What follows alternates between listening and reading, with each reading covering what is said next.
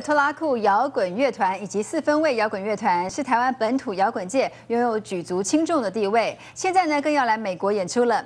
两个乐团受到洛杉矶中国城的官方邀请，将会在六月二十七号星期六晚上，在这个 L A Weekly 的夏季年度音乐演唱会演出，并且和美国本土乐团来较劲。活动是免费入场。好，我们到了六月二十九号星期一的晚上，两大乐团还会在好莱坞的这个 Whiskey 啊 Go Go 表演。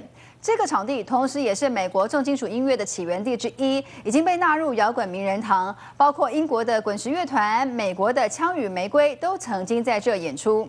而在台湾拖拉库摇滚乐团以及四分卫摇滚乐团的这两场美国演出，属于团团转世界巡回演唱会的一部分。更多讯息都欢迎您上网来查询。